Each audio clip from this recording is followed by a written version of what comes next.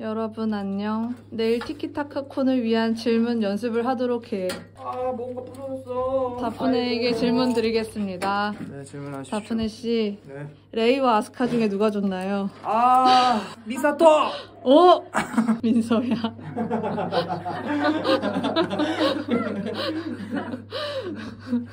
민서야 등판 보여줘. 질문 받는 민서입니다. 민서한테 뭐 물어보지? 다프네 민서한테 뭐 물어봐봐. 뭐든지 물어봐. 그래서 요즘에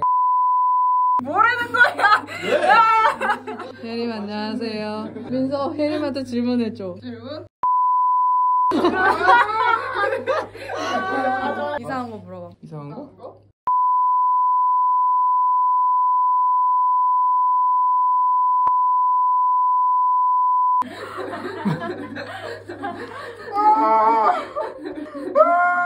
왜 꼭 그런 걸 물어보는 거야? 그거 꼭